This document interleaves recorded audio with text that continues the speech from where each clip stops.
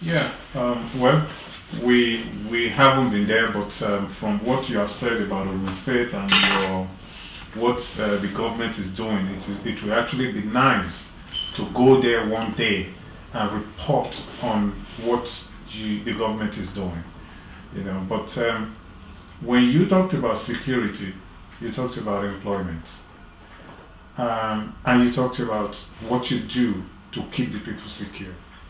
But I do believe that for you to be able to do that, it has to do with the youths, with their education, with jobs. Without you don't do those two things. Now I understand that there's free education from what you have said in Ogun State. Yeah. So what how what's the school level. what priority have you given to jobs, job creation in Ogun State? Well, uh, as I as I as I've said, number one thing that we did when we came in, the governor promised employing ten thousand, and that he has done. But even at that, ten thousand out of the unemployed youth is still just. What's the population of Ogun State? State is about four point eight million people. And what would be the population of the youths? The youth, well, give or take, the youth will take about, we account for about two or 1.8 or, or 2.2. Million. Yeah, yeah, yeah. So what do you think would be And- the percentage of the people, the youth employed in Ogun State? No, you you don't have to base it based on the 10,000. Some are employed. Hmm. And the youths, some are, you know, still below employment age, but they are youths. Those who are old enough to Yeah, those who are old enough to be employed are there. And you know, let me tell you what we now did. We told everybody when we want to do the 10,000 job, we told everybody to apply online. We set up what we call Ogun Employment Pool so that everybody employed online, we captured, we want to really have the figure, have the idea. And then we have about 80 something thousand initially. Youths unemployed. youths yeah that applied unemployed. You know you cannot really say everybody unemployed. Some have some job they want a change. Part time. yeah. People oh, yes. But we have 80 something we employ 10,000 and what we do is from that pool if any company like some company coming to Ogun State as part of our developmental and employment generation we just go into this pool and see their qualifications and everything mm. and then we recommend them and put them into this company. And that has been ongoing. So sometimes employment go on in Ogun State and people they don't just say oh yeah the government is employing yeah they called my friend but it is not that government is putting them in the civil service mm-hmm. but because what we did is we need to have this you have a data. Data. So you you you pull Yes. from there from the data. You don't need to know anybody. No. You don't need to know anybody. You look So at you don't- you just look at the qualifications and everything, mm-hmm. and then you'll be called for interview. Then it depends on if you are employable. If you have the skill, you will get it. So a lot of people have gotten job through this, and that is the way we want to know them.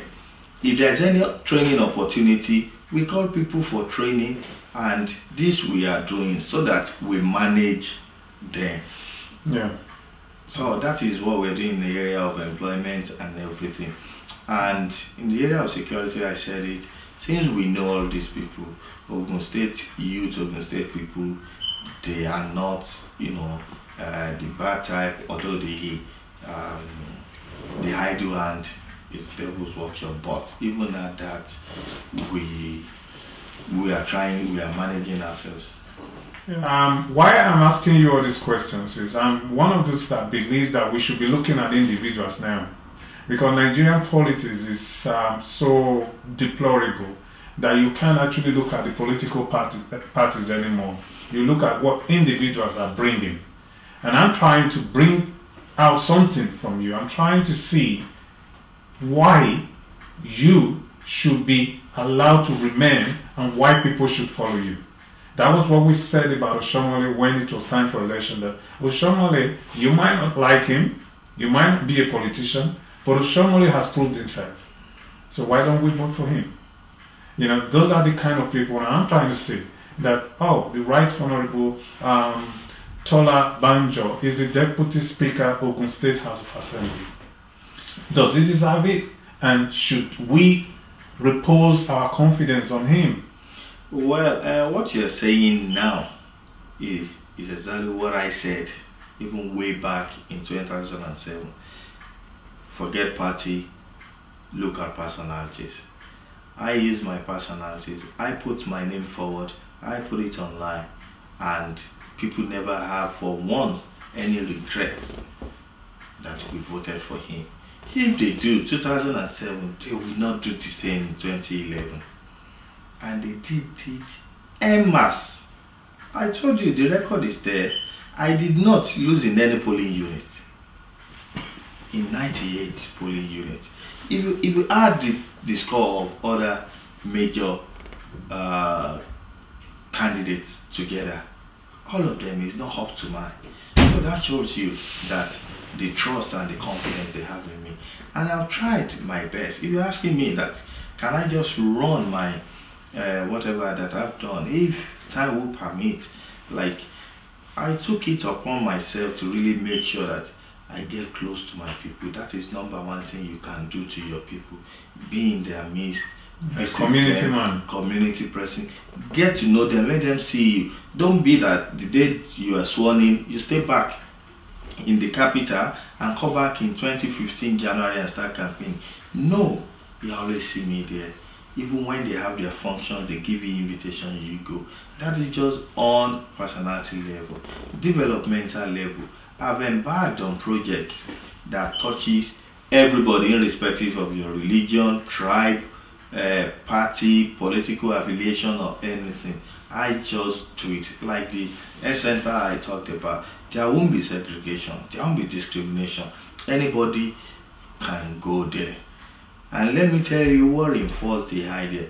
When I first got elected, my first point of call was I paid a visit to my constituency and I went around all the health, uh, the hospitals, the health centers and everything where I discover most of the problems and that is what I do.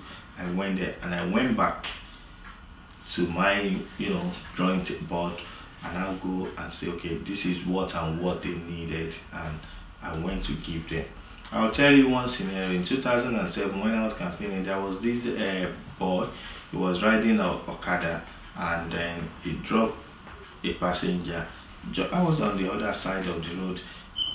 He wanted to you know, continue his journey, he just fell and twisted his ankle. And that was it. It was just that people go, ah, yeah, and everything. I took him in my car, took him down to General Hospital. When we got there, it was like, you have to buy this, you have to do this. And that day, I just, something just came into me that, why will that not be a money that if something happened, because it is called an accident or emergency you never prepare for it. You don't know when it will happen. So when i got in i went to the hospital. I went back. After giving them some of the relief materials the generators the bed sheet the mattresses and everything and i put money down in the accident and emergency that in case anybody comes in like you can imagine a schoolboy going you know could get knocked down by Okada or fail and everything. Even before they get in touch with the parent, they can take from that money. I think that day it was around 200,000 yeah, or 225 that was eventually, you know, pulled down and said, I will come back and I will increase this.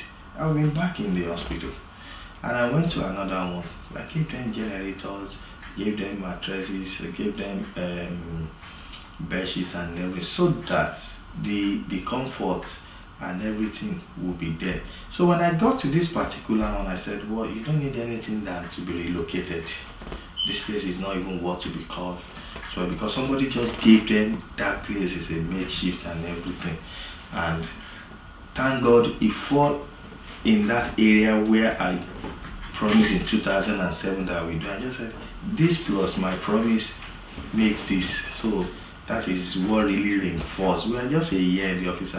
I'm, almost, you know, I tell you, what, what my target is October 1st by God's we are commissioning, we are opening that maternity center. That will be my own Independence Day gift to the people of my constituency and another one for them in the market where we have uh, a toilet and a shower about six weeks and everything for them so i want to commission everything by this october 1st it will be ready for use and uh, in the area of security i've been there for my people every time even the the vigilante in Ijebu-Ode that people say they relegated to the background. I brought them to the forefront, gave them recognition and everything. Even if I cannot afford to buy them uh, a patrol truck now and everything, as I did it to the police, I cannot afford to buy them trucks now. But I took two of their vehicles that are grounded and repaired it so that we hate their jobs. The vigilantes were given uh, some bikes by me so that they can move from one point to the other. So all this one is doing to make sure we have um, a secured environment and we thank God is working. Okay, that's that's very good. Um, I just hope that that's what every other person who are representing the people, that's what they're doing. Um, well, I can't speak for myself, but I know, yeah, a, I know a lot, a lot of ACN members in Ogun State, we are all doing fantastic, you know, job because we have the mandate to serve our people. Yeah, from what you from what you're saying and from the way you have been um, responsive to your people, I do think that you have uh, a burning desire in you, a desire to realize something. And what is that really that you're trying to achieve? What is that that you've seen that you think that if I do have the opportunity, I would need to do this? You see, number one, and it depends on who the head is. No matter how well ambitious or whatever you are as a follower or as a subordinate, you cannot, most cases, just deviate or do aside what the boss or what the head is doing. So, if you see your governor, we've come a long way, and I know what he wants for his people, the desire in him you know, the vision. Yes, yes, the insatiable desire to make sure he put the smile in the face of the people. He he eradicate poverty. He wants it done as if it should have been done yesterday, and then you can be different. So that is why you see the team, everybody, we now into what we call open standard. And everything we do, we don't want to do something that come when we finish all this thing I'm talking about you wonder why would somebody come and build a like almost a marble toilet in the market? But i know my governor will not do less. That's what we call open standard and that is it is in everybody now. He will tell you you just do it or not go and see the quality of the roads go and see the what the uh, the model schools we are building go and see the hospitals you know uh, even those that were uh, refurbished and everything, and the new one we are building, you see the standard in everything. Go and look at the APC. So we have on ground now what we call open standard, and the desire to help our people is just. So he's, the government is showing real leadership. Oh, very well, very well. Leadership by example. By example, real by example. And this is a man like you wonder when he sleeps wake up early there. He attends to call and he knows who if it's accessible. People send him text, this is happening, that is happening, and then on everybody's phone you just see piam, he send it to you if it affects you, he send it anybody, even as I'm here, I still got text about some things and everything that I still need to act upon. Okay. But let's look at Nigerians in diaspora. Hmm. Being someone who has traveled far and wide, and looking at the global situation at the moment, a lot of Nigerians want to come back home.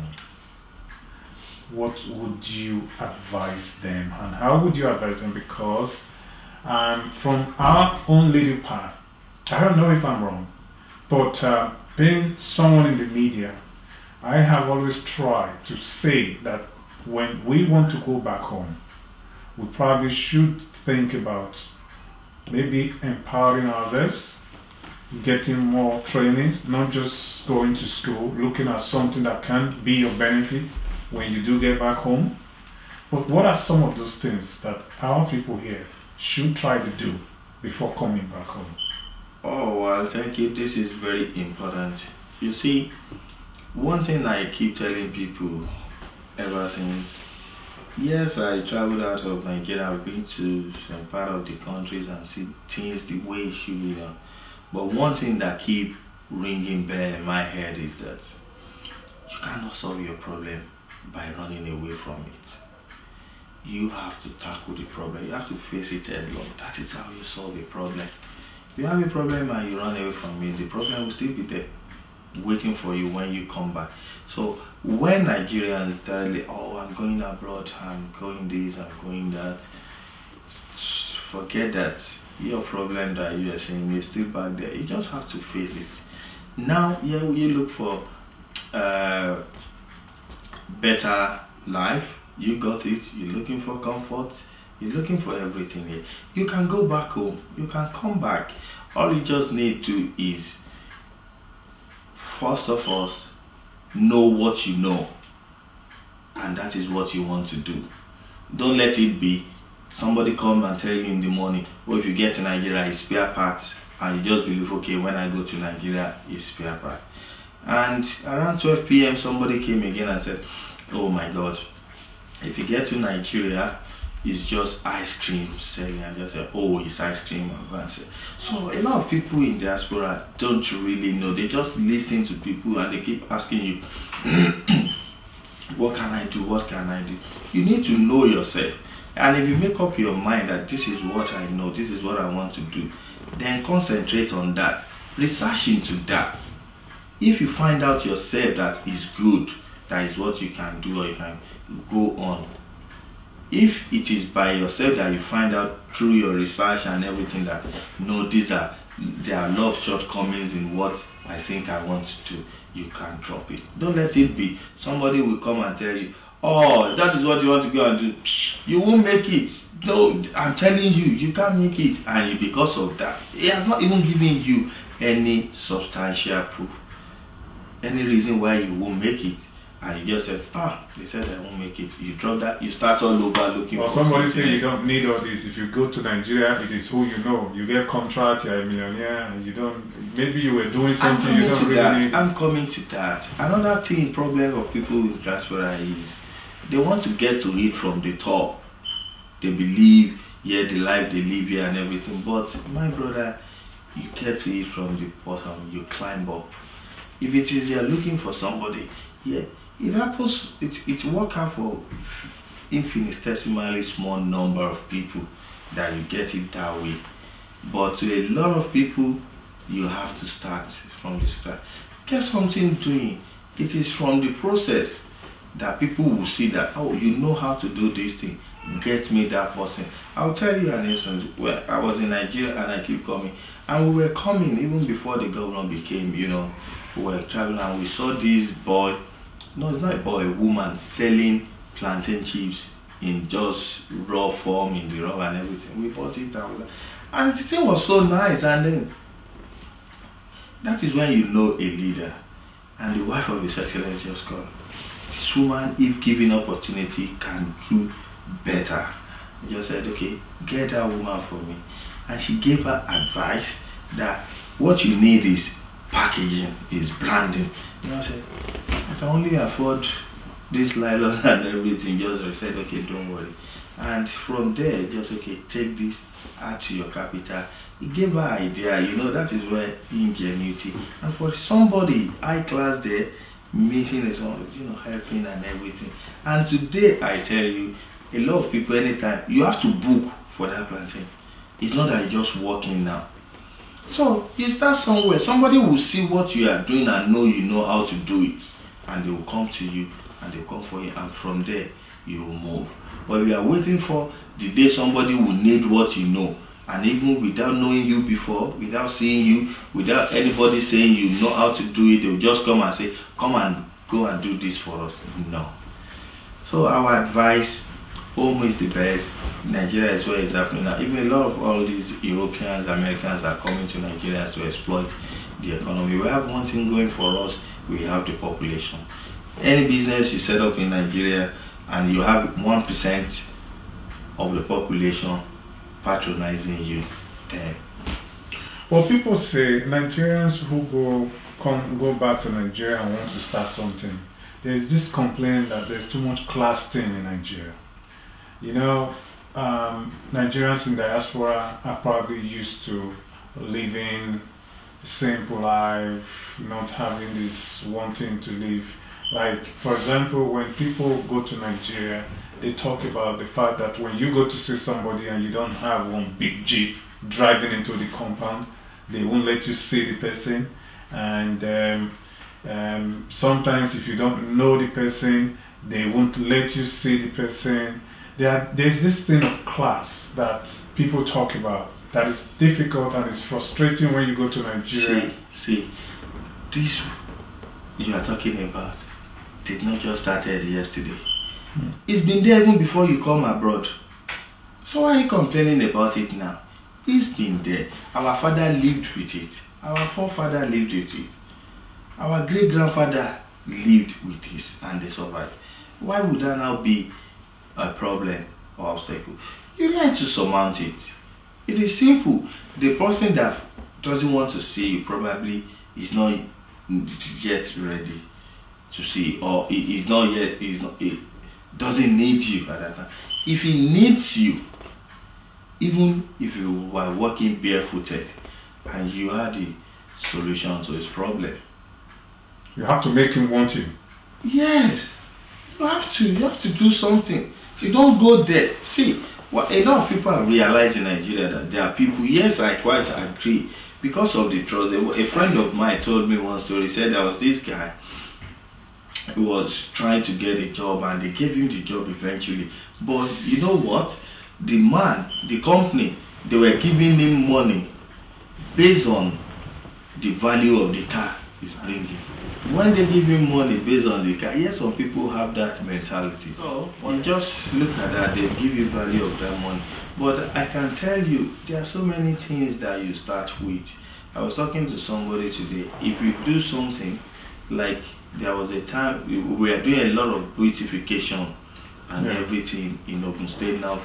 And the governor just said one day, who knows this guy? If you're going to this side, before you turn left and everybody, get the guy that owns that garden place that should come and do one. The guy never applied, the guy never do anything, but because they've seen what he displayed, what he can do, so he was just say, the governor said just say, go there, get whoever is there, let's see if he's the one that is in there. So if you come up, it does not even, we don't know if he's black or white, White. or tall, does he live on the street, does he have any cars? Come first. Don't let anybody just tell you, ah, if you don't have Jeep, if you don't have this. Well, riding good cars is, is good. It, might give you a level of leverage when you get to some level, but it's not just the ultimate. What you know and how you can do it best is the key. Right, Honorable Tola Banjo, it's been a pleasure talking to you, and I want to thank you for coming. Um, well, viewers, we've been talking to Right Honorable Tola Banjo. Like we said before, he is the Deputy Speaker, of Ogun State House of Assembly. He's one of us. He's somebody that has inspired so many youths all over. Talking to him today, I believe, has been a blessing. You've heard, you've listened to him, you've heard from him, and until next week, when we come your way again, thank you.